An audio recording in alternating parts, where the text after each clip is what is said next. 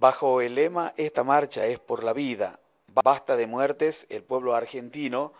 se autoconvocó el pasado miércoles en una marcha a la cual se la denominó Ni una menos.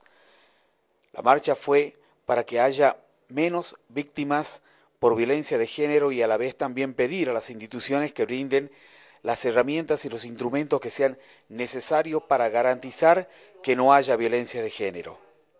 que no haya más mujeres muertas, que no haya más mujeres muertas por femicidio. Las queremos vivas a todas, ni una menos. Ese fue el lema y la frase que resonó en todo el país. La ciudad de Frías no estuvo ajena a esta marcha y también distintos medios se autoconvocaron en la Plaza 9 de Julio, donde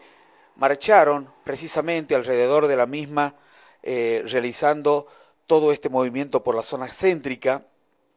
La Plaza 9 de Julio fue el epicentro y en este lugar participaron organizaciones de derechos humanos, estudiantes, eh, políticos, varios partidos políticos también estuvieron presentes, autoridades policiales, autoridades municipales, varias ONG,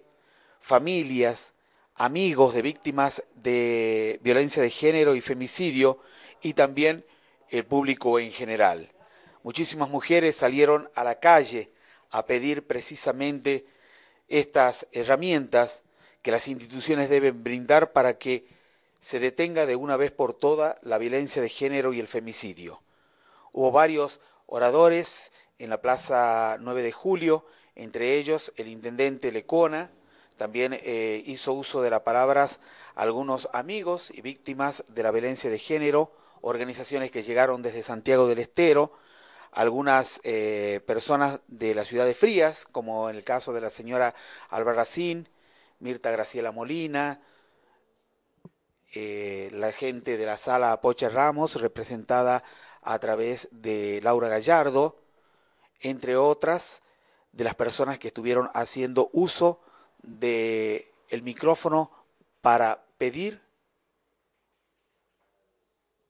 por esta marcha y para pedir a las instituciones de que no haya más violencia de géneros ni femicidios.